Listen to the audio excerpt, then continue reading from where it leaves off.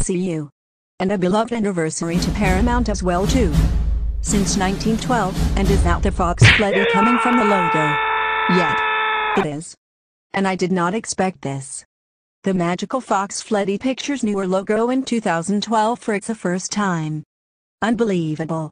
Alright, we don't want this video to be blocked, right? Anyway, we'll see you later. Take care, bye.